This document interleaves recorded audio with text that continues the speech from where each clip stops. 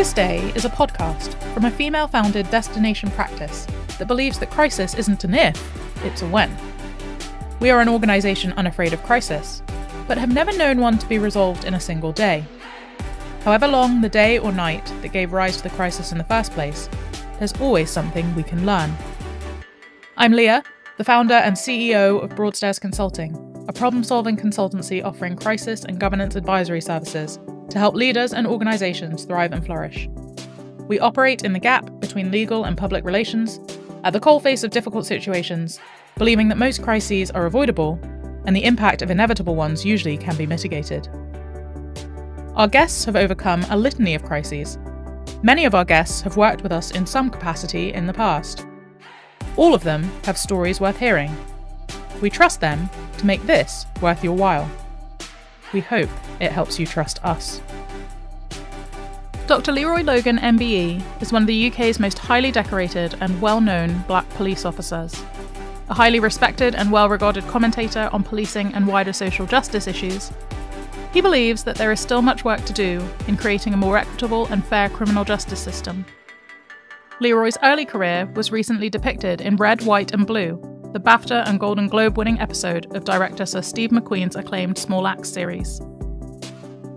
As the founding member and past chair of both the Met and National Black Police Association, Leroy Logan also co founded Voyage Youth, a citizens' focus of the BPA. As a social justice charity, it aims to empower marginalised young black people and provide them with the self awareness and motivation to transform themselves and their communities.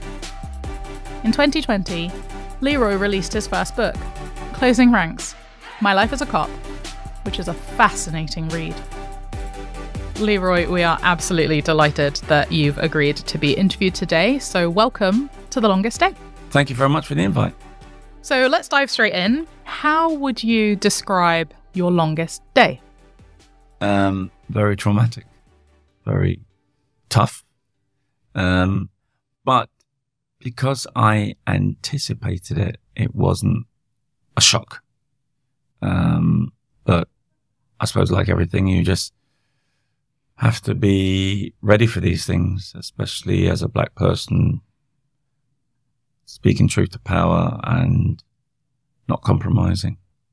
I suppose that is um, part of the course. I was uh, a chief inspector, actually based around here in Westminster. So I was uh, chair of the Black Police Association as well. And one of my members was being investigated for every allegation bar murder, I think it was, and terrorism. It, it was easier to say what he hadn't done than what he had done. So the backdrop was I hadn't sort of cut him off on a limb and let him free fall. I basically said that innocent until proven guilty, the cornerstone of British law. But knowing that would put me even more at risk of any sort of pushback. And it could come back in, come back in so many ways. But one of the ways I knew there was a, a real high probability of that happening was around my activity in the Black Police Association. So I'm on this uh, leadership course. There was an irony in that. So I'm at leadership course outside London and um, my fellow chief inspectors were all on this course, and the lecture that afternoon lecture was a Friday afternoon. It's the last day of the course, actually. Um, and I get this um, request to leave the class to go and meet someone in the reception. Oh, and um, so I go to reception, and the officer in the case for my BPA member's investigation was also there. He was the one that was saying to me, well, you know, he's guilty, you know, he's, he shouldn't be trusted and all this sort of stuff. You know, if you can make a statement to that effect, I said, no, I'm not. I mean, you do your investigation. Um, if in the process of the investigation you want me to speak, uh, I'll make a statement if necessary. In the end, it, I didn't have to. But the fact that I wasn't, um, we were rallying around him on the cornerstone of British law, instant until proven guilty. So when I saw him in the reception, and I thought, Uh, it's in the book. His name is Barry Norman. I said, what are you doing? He said, oh, I need to um, serve a misconduct notice. I said, well, I knew it wasn't good news seeing you here. Mm. Uh, you hadn't come all the way from London to come and give me glad tidings. So I knew bad news. And I said, can we go somewhere quite private? So he did. But because how it was set up, everyone knew some, and because it was so high profile, media wise, everything, everyone knew there was definitely something. And he said, I, I came here to just say it wouldn't be done in the Met. I said, you might as well announce yourself with, uh, you know. It's like those legal shows, isn't it? Where they come Yeah. into the lobby and serve you a subpoena Yeah, uh, yeah. in front of everybody. So I think to myself, okay. So we go in this private room and he says to me, um, well, when you were national chair of the Black Police Association, which was in uh, 98, 99, um, you illegally submitted an application for application for refund of expenses, an expenses claim that um, you shouldn't have. And uh, I was baffled. Uh, I mean, that, that baffled me. It wasn't the fact that I thought he was going to say, oh, you, were seen in certain areas, you know, in a suspicious way or something, but an admin issue. Hmm. So I didn't make any comment because I didn't know really what he was getting at. He was saying that I claimed for a hotel bill, which I shouldn't have. So I said, well, I, I, I just put in application forms and if they, I can be paid for it, I am. If I'm not, I'm not. Invariably, I never did claim that much because I felt I was in a privileged position as national chair. And then I went on to being London chair. And in fact, I was London chair when this mis- misconduct notice was put on me or served on me. And so I always felt that was a privileged position. You know, cover my out pocket expenses, but all the subsidiary expenses, I just wasn't bothered. Anyway, he, um, he tells me that. I said, okay. And that was my only comment or some words to that effect. Uh, and he said that, um, you know, we, we hope that uh, we can get this done, sorted out pretty quick. So that was bad enough. Um, so I didn't go back to class. Uh, I thought, well, there's only a couple not even a couple less, maybe one lesson left. I thought, I'm just going to uh, pack and go because I'd driven down. So as I'm, I gave him excuses uh, for obvious reasons. In fact, Barry said he would do that as well. Very nice of you. Uh, and it was a Friday, so I thought, well, I can just try and gather my thoughts during the weekend. But as I'm driving back to London, I turn on the radio and it's on the radio that public official has been served with a misconduct notice or something like that. That, um, and he's the chair of the Black Police Association. It's Leroy Logan. Um, and I thought, this is trial by media. You know, guilty until proven innocent. So I must have been on this gold group, and they said, well, you have to um, offense is the best defense type thing. And because we had kept them on the defense with, with the whole issue uh, regarding my member, um, Ali Dizaei, and all the issues to, to ensure that it, he was investigated properly. And we weren't adding to the problem. So here we are. So I, I'm I'm now listening to this on the radio. So I, I called home. I said, "Listen, Gretel, you might be um, hearing things on the radio or on the TV, but this is what's happened." And she said, "Well, bound to happen. This is when having a strong partner, strong family, um, strong wider friendship group really kicks in." Uh, and I got a couple of calls that, from from some friends saying, "Oh, by the way, I just heard this on the radio. What's that?" You know, uh, it it eventually ma- made the the TV uh, during the weekend, I wasn't prepared for the way they would do it. Okay, fair enough. I remember him saying, "Integrity is non-negotiable," um, and I thought, hmm, I wonder how that's going to pan out. And eventually, I was investigated. But I think the, the, the real pain for me is having to explain this to my family and, you know, give some context. So I wasn't shocked, but that for me was the most painful thing. And I knew it wasn't going to stop there. It was going to have other sort of impacts on the family. And I thought, well, I must be doing something right. You speak about this so eloquently in the book. I, would love you to share how your family responded as you were talking through some of these things with them this weekend. Well, you know, got the family around and, and explained to them that I was the chair of the National BPA. I went to Manchester, to launch of the Manchester BPA. Uh, and, and, the real irony was, uh, again, another work of fate was my wife was working in the city at the time. I said, I need you to come to this event. Oh, why? Why? Why? I said, I just feel that you need to come. And it was a really, really important factor because she could clarify what was happening, what was background noise, what was things I was trying to deal with. And um, she helped me to just go through all my records during the weekend and she mapped it all out. Um, and she said, You haven't claimed for all these expenses. Why not? I said, I just didn't see the need to. I wasn't that desperate for money, all the subsistence payments and everything.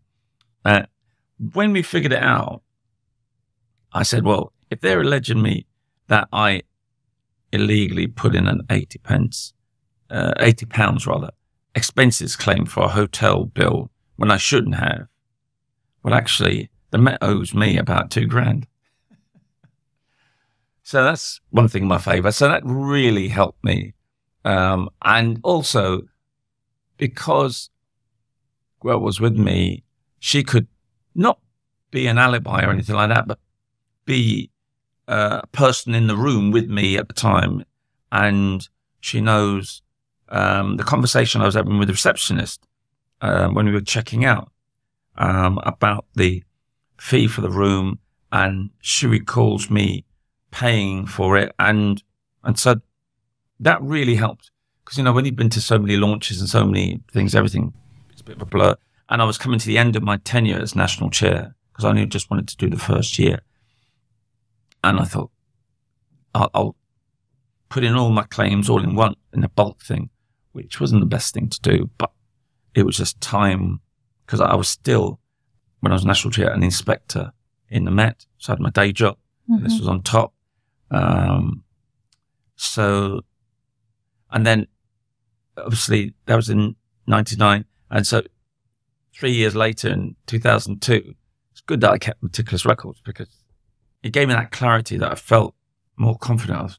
So you know, not my brow. I think, wow, that's a bit of a relief. Um, yeah. And you know, Gretel being there really just gave me a sounding board of reassurance and comfort. And again, she thought it's bound to happen at some stage. Mm-hmm. How long was it between excusing yourself on the Friday afternoon from the conference um, or training to actually being in the room, being party to an investigation?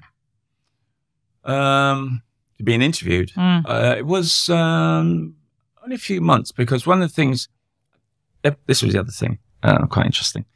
My my lawyer at the time was a guy called Sadiq Khan, who was the current mayor and he had got involved in the Ali Dizaei case, um, and uh, he was drawn to us basically, and he was making a name for himself. He wanted to, you know, we, we were like a movement that had presence, and and it was getting things done, and people could see witch hunts were looming, and we were part of that witch hunt, and so he wanted to make a name for himself in his law firm. So he said he would be our lawyer pro bono and everything. So it fitted in really well when I'm, I'm now being investigated.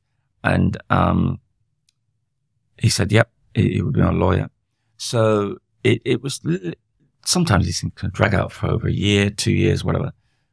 But uh, the first thing we, we emphasized that this thing had to be done expeditiously because it's not uh, a major allegation. It's quite minor when you think about it. But the law is the law. And so we have to have due process. But you have to think of, we in the BPA had already classed it as a critical incident. And with that, we want it expedited in a timely fashion.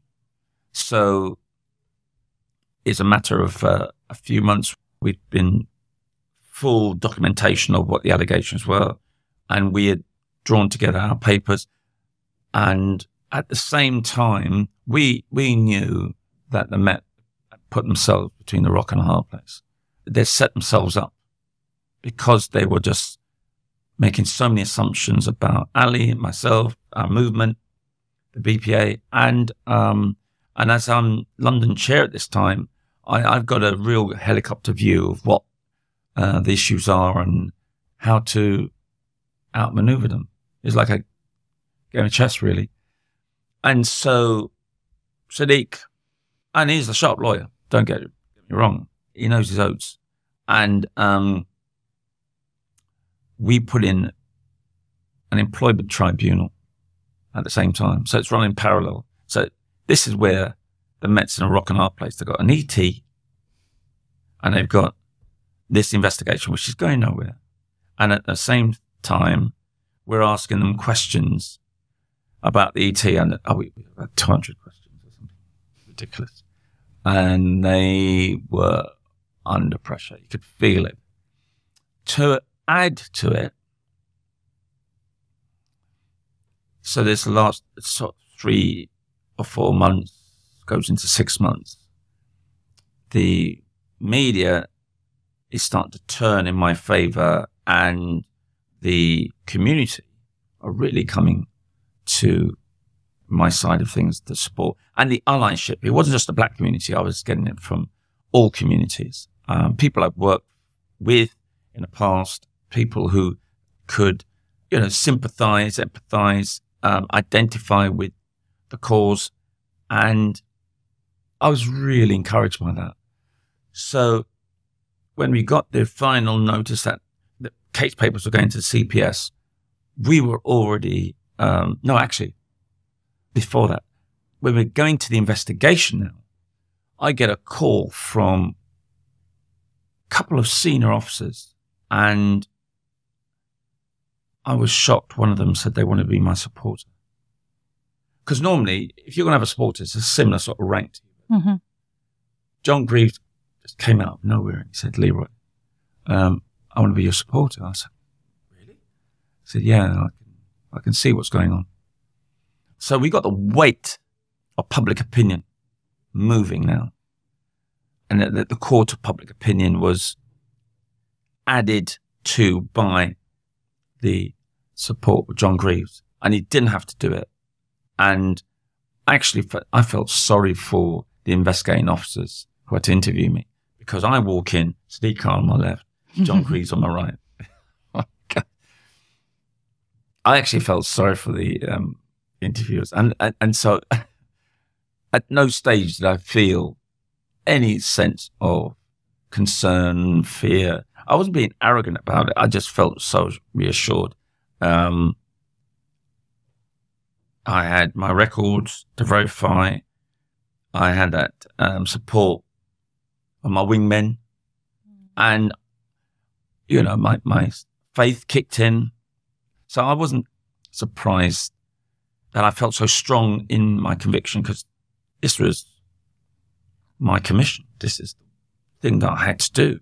This is the whole reason why I joined the Met in the first place, you know, to make change from within. And if I have to be on the receiving end of the injustice, then so be it.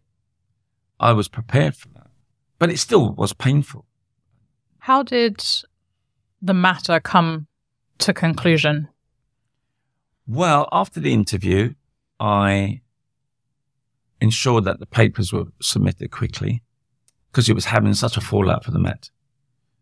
And I said that, you know, the BPA would have some counter actions about this because we can't allow my case, Ali's case, and so many other employment tribunals and civil actions and officers uh, being subject to discipline um, and investigation. In fact, at the time, you're three to four times more likely to be investigated if you're black than you're white. And and the other thing is, um, when I checked with out the blue, that's right, after the investigation, I got some information uh, around the same time as the interview. I had some in- information from Ali, and you know, you reap what you sow because we supported him. I don't know where he got this information from. That white officers, a whole series of white officers in specialist operations, had put in false claims repeatedly. All they got was words of advice. And here I am, one claim, which is an admin error, and they're throwing a book at me and giving me, you know, integrity is non-negotiable. Well, it's obviously non-negotiable if you're black, because those white officers. So when I was producing this in our documents, it just blew it apart to the extent that the CPS said there's no case to face. But it was really good that Matthew Ryder, KC, was there, part of the legal team, and that Sadiq had set up. So if it went to court, I, I was in good shape. And I was looking forward to my day in court, actually. So something masochistic about that. I, I, suppose, the, again, the only fallout is in between the interview and the CPS making the decision. My youngest son went to school. Uh, he was at secondary school at the time. I think year seven or eight. And he said, um, Oh, dad, I was in the playground and other boys uh, and girls were looking at this paper and I like, what is that? And it showed Leroy Logan investigation pending or results investigating pending. And they said, I'm going to go to prison. I'm a criminal. I'm going to go to prison. And it, it threw me, um, when he came back from school and, and shared that with me. And I, uh, I, I didn't expect it from that standpoint from my youngest. And it really pained me. Uh, that it reduced me to tears. Actually, privately, I, I was so upset.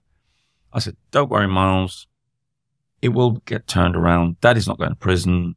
This is just newspapers um, making things exaggerating." Anyway, it ends up that um, the CPS throw it out. The media, to be fair, did show a lot of um, yeah, they published it. Maybe not on front page like the, the, the allegations against me, but at least uh, a couple did. Guardian was really supportive. Hugh Muir, uh, Vikram Dodd, all these people. They were really positive. We'll continue the interview after a short ad. It's hard not to feel disillusioned by the fashion industry. To get that piece you want, you either have to compromise your budget, compromise the product quality, or compromise your ethics. But we believe there's a better way. Positive Retail brings you second-hand designer fashion that offers more than just a new fit. Our goal is to categorically change customer perceptions of resale and provide joy, protect the planet, and create community. Find us in stores in Margate, Ramsgate, and Deal and online at positive retail.com. That was Anna, founder of Positive Retail. Thank you. Let's get back to the interview. You said many times that you weren't surprised that this eventually happened to you. What do you think you learned about yourself? That even though um, you feel capable of dealing with most things, whether it's because of your expertise or your understanding of how things can play out. And, but despite that strength of character, which had got me through joining the Met, despite my dad being beaten up over uh, traffic matter, it got me through training school with the support of my dad in the end, it helped me to go through the toxic culture again, an N word written on my locker as a trainee constable in Islington, my first station. That strength of character still got me through to promotion and supporting my dad through his civil action around the beating, the unlawful arrest and excessive force. It got me through, you know, to support him and I was in uniform at the civil action to do that. It, it pushed me through all of these things, you know, with the help of my faith, sort of God showed up. I remember saying from the very, very early stages in my career, you don't have to be a forensic scientist to know when God shows up. DNA's all over it. It actually helped me develop and understand other people's plights much more. Even though I was, I, I was understanding that from the early stage of my career, because I know that I was arresting people I went to school with. And I said quite clearly, if I didn't have the parents I had, there's no way I could have been in their position. I don't know. So it just sort of assisted me to know that I had to go through that journey. I had to be intentional. I had to be purposeful. Focus on, on how the Lord wanted me to, to do these things. I'm a, a lot of people think he's a religious nut, but, and I think that's why I wrote the book. So I just felt that you know, in honoring the Lord, he'll honor me. So every time I honored him, per pushing through and, and not taking the easy option, because the first line of my book is your worst nightmare can be your biggest breakthrough. And I w- I've been living that, joining the Met all the incidences and leading up to that investigation. So I knew there was growth and I knew there was a strength and a desire to continue going. And I suppose that lives with me now. Well, that was what I was going to ask. Uh, obviously, you're retired now, but you haven't lost your sense of purpose. In fact, some might say that you've renewed your concept. I'm more radical than I was 30 years ago. That's the real thing.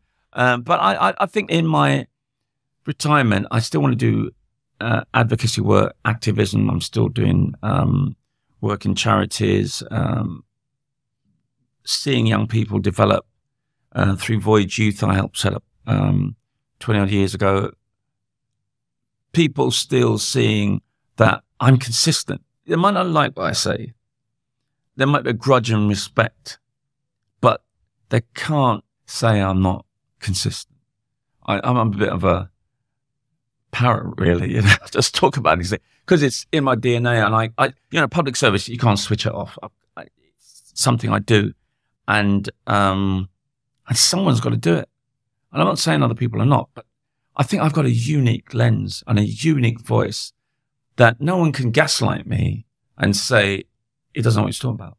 I mean, I do I attract trolls, but it's less since the book and the film because I don't think there's much they can come back with. Because I, in the book, Closing Ranks, which I see on that shelf there, mm-hmm. um,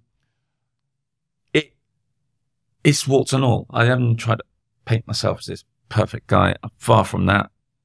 If I can do what I've done, other people can. I am, but I know I've got this strength of character, this warrior spirit in me, which I like to think I'm a gentle warrior. I don't um, take advantage uh, or, or, or, inappropriate. Uh, I have got the discipline to know my boundaries, um, and, and be there for people wherever I can. Um, sometimes Gretel says, you put yourself on offer too much for people. And I know, and, and I know sometimes I've got to learn the word no.